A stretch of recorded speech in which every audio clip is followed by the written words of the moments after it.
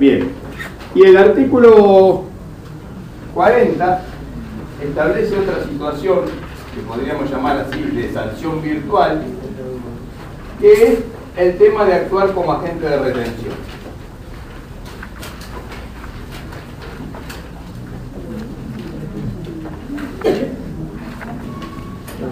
El 39 y 40. ¿Qué dice el artículo 39?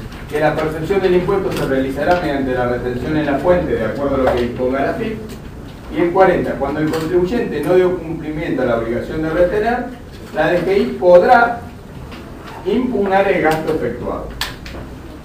O sea que hay dos, dos situaciones.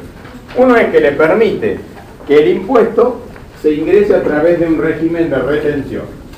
¿En qué consiste un régimen de retención? Es que la operación comienza cuando un señor le vende A a un señor B.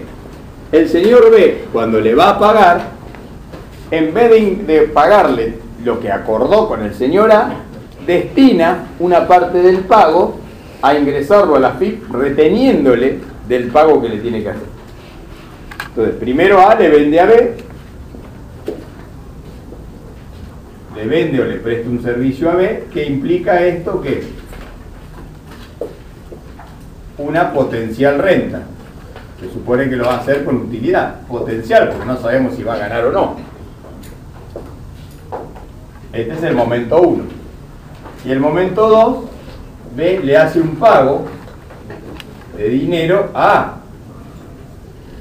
Este pago de dinero A por el servicio que le prestó B, la mercadería que le entregó, el bien que le vendió o el servicio que le prestó, se va a derivar a que una parte se va a retener para la FIP. Es decir, para pagar el impuesto del señor A. Entonces, si acá yo le tenía que pagar 1210 por el IVA, yo en vez de pagarle 1210, le voy a pagar 1100 y 110 se lo voy a llevar para la FIP.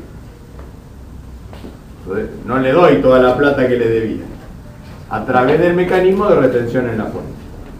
Si el señor B se olvida de hacer esta tarea y le da los 1210 a si yo no actúo como agente de retención, el fisco tiene el derecho de impugnar este gasto, porque el señor B es un gasto, para el señor A es un ingreso.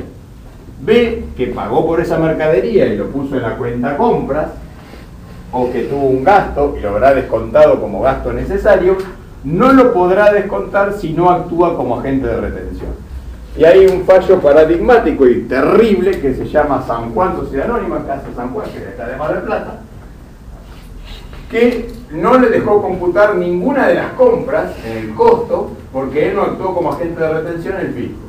Por lo tanto, la ganancia bruta era igual a la ganancia neta, porque si vos le tachas acá las compras sobre las ventas, entonces eso trajo como consecuencia por haber omitido actuar como agente de retención. Situación que en la práctica se da muy frecuentemente, que como hay que organizar todo un sistema para actuar como agente de retención, las empresas esto no lo hacen te pagan los 1.200 días al proveedor y chau, tienen el comprobante de gasto, todo prolijito, pongámosle que el gasto sea en blanco, o sea que no hay ninguna evasión, pero resulta que por no haber ayudado a cobrar el impuesto al gobierno, actuando como agente de retención y, habiendo, y desviando los fondos que iban para el beneficiario hacia el fisco, esto le trae como consecuencia que el fisco podrá, podrá hacerlo o no, es un derecho que el fisco tiene, de impugnar ese gasto. ¿Está claro?